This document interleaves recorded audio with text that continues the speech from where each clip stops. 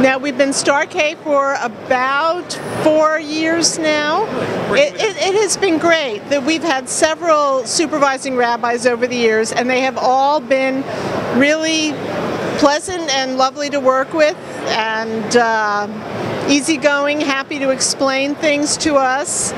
Um, yet very watchful. We we've always. Um, held held the standards of kashrut very high. So we're we're very we feel like they're a consultant, not just not a policing force. They don't come in when they see something they don't like. They will let you know, but they will also explain things. We, we have found them to be very pleasant to work with, and as a matter of fact, we we um, we always tell the rabbi if we knew it was so easy, we would have done it years earlier.